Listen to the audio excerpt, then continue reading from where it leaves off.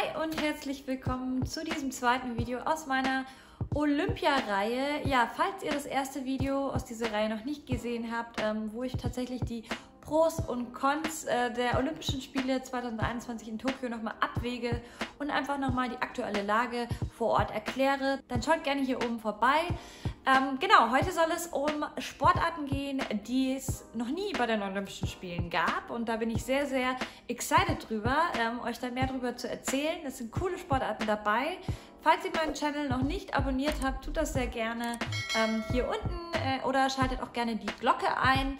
Und dann würde ich sagen, lass uns loslegen. Zum ersten Mal mit dabei ist das 3x3 Basketball, also das normale Basketball kennt man ja bereits, Mannschaftsbasketball. Zum ersten Mal mit dabei ist aber wie gesagt das 3x3 Basketball. Das ist eine abgewandelte Art von Basketball, kommt so aus der ganzen ähm, Street-Basketball-Szene aus Amerika ähm, und ist jetzt das erste Mal olympisch.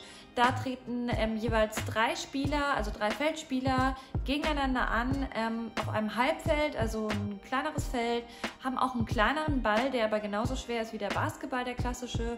Und pro Team gibt es eben drei Feldspieler und ein Auswechselspieler ist auch erlaubt. Ein Spiel im 3x3 Basketball dauert 10 Minuten und es wird bis 21 Punkte werden, äh, wird gespielt. Wenn es in ähm, die Verlängerung geht, dann gewinnt das Team, das zuerst zwei Punkte erreicht hat. Es ist ein sehr, sehr schnelles Spiel, also nochmal schneller als der klassische Basketball, weil du einen Angriff in nur 12 Sekunden machen musst. Und ähm, deswegen, ich werde auf jeden Fall mal reinschauen. Ich finde es sehr, sehr cool, so dynamische Sportarten. Wer geht hier als klarer Favorit in das ähm, Turnier? Das wären vor allem die Serben. Ähm, die haben sechs der zehn weltbesten Spieler in ihren Reihen. Unter anderem haben sie Dusan Bulut in ihren Reihen, den besten 3x3 Basketballer. Außerdem auf dem Zettel sollte man haben natürlich die USA, äh, wo ja Street Basketball eigentlich herkommt, und aber auch Ungarn, was ich ganz interessant finde also bei den Herren. Bei den Frauen sind es vor allem Frankreich und China, die auf eine Medaille hoffen dürfen. Kommen wir zu einer Sportart, die auch so aus dem ähm, ja, Street Lifestyle äh, Kosmos kommt, ähm, die auch, äh, muss man sagen, vor allem in Deutschland noch nicht so Beachtung findet. Und zwar ist das Skateboard und auf Skateboard habe ich richtig, richtig Bock. Ähm, mich erinnert Skateboard dann auch immer so ein bisschen an Snowboard. Snowboard schaue ich beispielsweise bei den Olympischen Winterspielen immer auch sehr, sehr gerne. Im Skateboard geht es um zwei verschiedene Disziplinen. Zum einen wäre das Street und zum anderen wäre das Park. Ähm, ich erkläre ganz kurz, was ähm, das jeweils bedeutet. Bei Street geht es darum, äh, eine straßenähnliche Strecke, ähm, die Hindernisse, die da drauf aufgebaut wurden, ähm, zu überwinden. Also Hindernisse könnten sein ähm, Bänke, Treppen, Treppengeländer. Diese Hindernisse müssen mittels Gleiten oder Springen überwunden werden. Und das soll natürlich möglichst cool aussehen und möglichst coole Tricks sollen da rauskommen. Und das wäre zum Beispiel ein ähm, Kick, Flip. Ähm, dann gibt es aber eben auch noch Park und das erinnert mich, wie gesagt, ein bisschen an Snowboarden auch. Ähm, das ist eine riesige Schüssel sozusagen. Ähm, Bowl nennt sich das Ganze. Vier Meter hohe Wände, sehr, sehr steile hohe Wände, wo sich da die Skateboarder und Skateboarderinnen runterstürzen. Und auch hier geht es darum, dass du ähm, dann eben in der Luft ähm, coole Sprünge zeigst. Bewertet werden sowohl bei Street als auch bei Park ähm, die Ausführung ähm, genau die äh, Schwierigkeitsgrad der Sprünge beispielsweise oder der Tricks.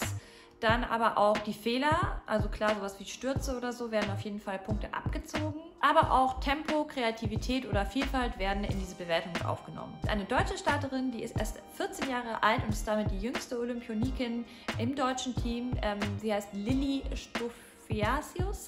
Ich verlinke sie euch gerne mal unten. Äh, ist wirklich sehr beeindruckend. Steht seit sie drei ist auf dem Skateboard, hat ihr Papa ihr beigebracht. Und seit sie fünf ist, trainiert sie regelmäßig. Also echt krass, wenn man sich jetzt mal, mal zurückdenkt, was habe ich mit 14 geleistet. Und die ist einfach schon professionelle Skateboarderin, richtig, richtig cool.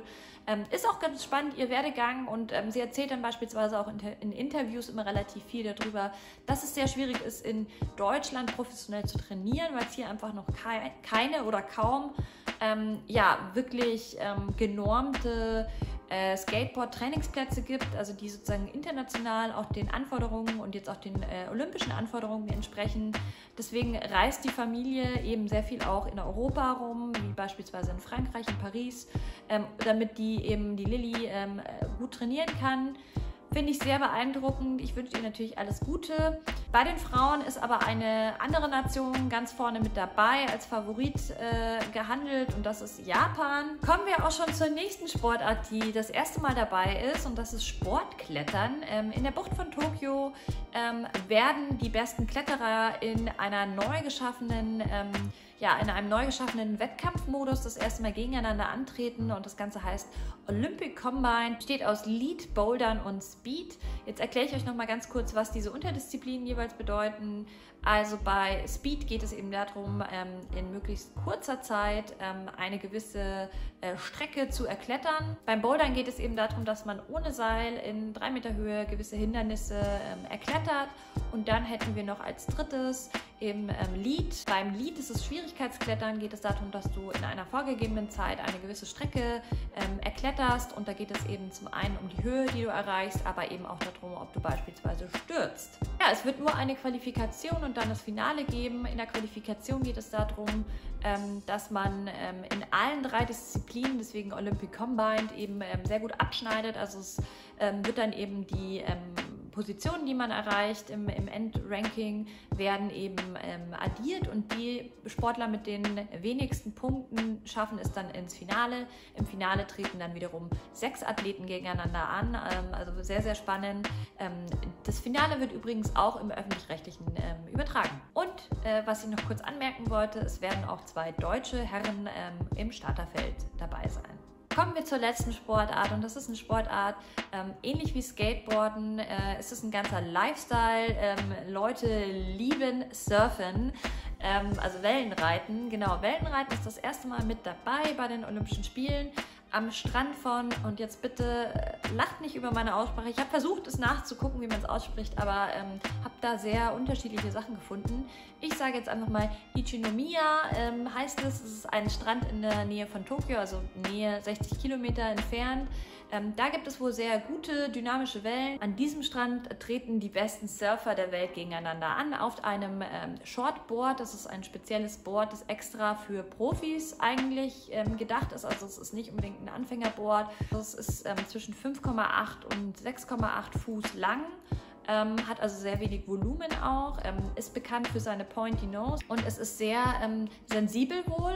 Also ich selber habe noch nie gesurft, aber das ist das, was ich gelesen habe. Also auch auf Gewichtsverlagerungen ähm, reagiert das Board sehr, sehr sensibel und es ist deswegen wahrscheinlich auch sehr schwer zu surfen da drauf. Es ist aber perfekt für Profis, weil es eben sehr wendig ist. Also du kannst die Wellen wohl sehr gut reiten damit. Wie läuft jetzt so ein Surfwettbewerb ab? Also es wird eben zwei Einzelwettbewerbe bei den Frauen und bei den Herren geben im Shortboard.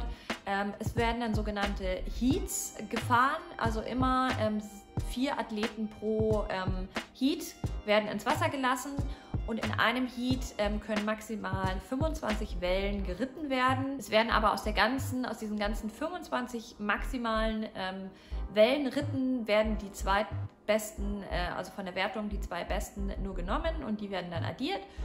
Und ähm, genau, dann ab dem Achtelfinale ähm, treten immer zwei äh, Sportler, Sportlerinnen gegeneinander im direkten Duell an. Ähm, so sieht dann sozusagen der ganze Wettbewerb aus, also bis ins Finale. Kriterien für die Punkterichter sind eben Schwierigkeitsgrad, Flow und ähm, Geschwindigkeit beispielsweise. Als Favoriten im Surfen äh, gelten zwei Brasilianer, eine Frau und ein Mann. Aber es gibt wohl auch einen amerikanischen ähm, Surfer, der sehr gute Chancen auf eine Goldmedaille hätte. Ich habe da richtig Bock drauf, muss ich sagen, weil Surfen habe ich tatsächlich noch nie im Fernsehen äh, verfolgt. Ich finde Surfen einen richtig coolen Sport, den ich jetzt selber noch nie gemacht habe. Ich bin nicht so eine krasse Wasserratte, aber ich kenne natürlich einige Leute, die ähm, surfen und ich schaue das, schaue das mir auch immer sehr, sehr gerne ähm, am Strand an beispielsweise. Also wenn man wirklich gute Surfer mal sieht, ist ja auch nicht so oft. Es gibt ja auch viele Anfänger, muss man dazu sagen. Aber ich habe mir tatsächlich noch nie professionell einen Wettbewerb. Es gibt ja, glaube ich, auch auf ähm, Hawaii immer wieder Wettbewerbe, ähm, World Championships, bla bla bla. Aber ähm, habe ich noch nie gesehen und äh, deswegen bin ich sehr, sehr gespannt und ich finde auch, ähm, Surfen ist eine Sportart, die sich seit Jahren, Jahrzehnten so etabliert hat, dass es auf jeden Fall gerechtfertigt ist, dass es jetzt auch mal bei Olympia vertreten ist. Man muss ja auch abwarten, diese ganzen Sportarten, die ich euch jetzt vorgestellt habe. Ähm, das heißt nicht unbedingt nur, weil die jetzt einmal dabei sind, dass die jetzt immer im Programm dabei sind. Das ist sehr ähm, fließend Baseball beispielsweise war ganz, ganz lange nicht dabei, war aber schon mal dabei. In der Vergangenheit ist jetzt wieder mit dabei. Also es kann auch teilweise Jahrzehnte Pause geben, bevor man eine gewisse Sportart wieder ins Programm mit aufnimmt.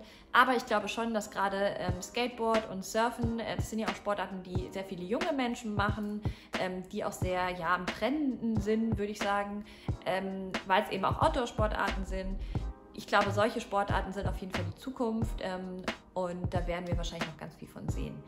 Das war es auch schon. Das sind die vier neuen Sportarten. Lasst mich gerne mal in den Kommentaren wissen, äh, auf was ihr euch am meisten freut, äh, ob ihr einschalten werdet und ähm, dann freue ich mich aufs nächste äh, Video zu den Olympischen Spielen und äh, sage bis dahin, habt eine gute Zeit. Ciao.